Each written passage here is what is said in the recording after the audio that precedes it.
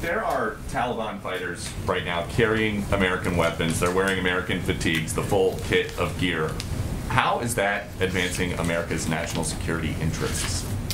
Well, Peter, I think my my colleague Jake Sullivan spoke to a version of this uh, last week. Um, but let me tell you, uh, let me reiterate some of what he said. Uh, when the president made this decision uh, to bring our men and women home from Afghanistan who were serving. Uh, he knew uh, he made that decision not lightly. He made the decision uh, with a clear assessment from his national security team about what the impacts could be.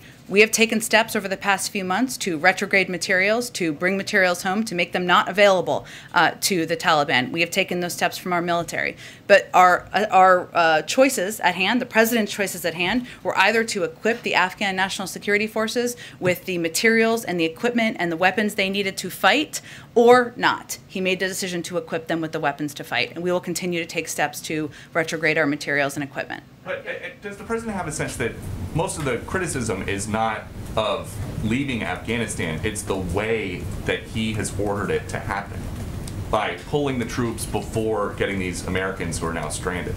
Does he have a sense of that? First of all, I think it's irresponsible to say Americans are stranded. They are not. We are committed to bringing Americans who want to come home home. We are in touch with them via phone, via text, via email, via any way that we can possibly reach Americans to get them home if they want to return home. There are no Americans stranded is the White House's official position on what's happening in Afghanistan right I'm just calling you out for saying that we are stranding Americans in Afghanistan when I said when we have been very clear that we are not leaving Americans who want to return home. We are going to bring them home. And I think that's important for the American public to hear and understand. Okay, and then following up on what somebody asked, Jake, the president likes to say America is back, but his policies have Americans getting beat up by the Taliban and Afghans handing babies over barbed wire fences. Is that what he meant when he said America is back?